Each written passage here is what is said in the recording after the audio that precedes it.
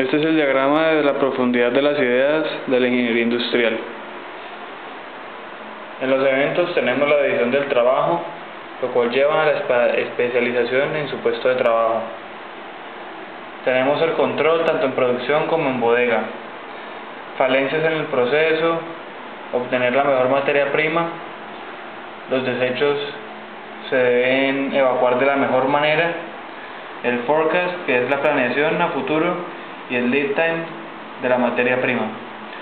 En los hechos encontramos que los sistemas de información no están alineados, la estandarización, la optimización, menos mano de obra por la tecnología que es la mano derecha de la ingeniería.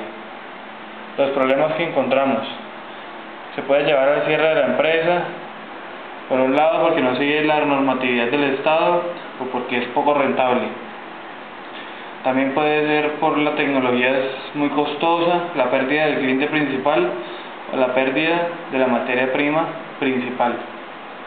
Los arquetipos. En primer lugar tenemos diferenciar hombre a máquina. Es esencial tener siempre presente la diferencia entre el hombre y la máquina.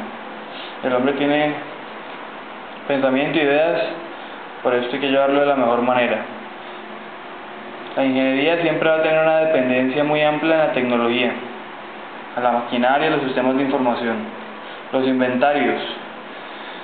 Siempre se está preguntando si se debe tener un colchón de inventarios o se debe producir de manera que se produzca a medida que se van pidiendo las cosas.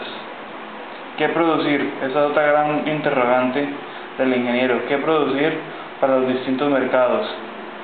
Y las tendencias de las distintas empresas, el Fordismo versus el Toyotismo.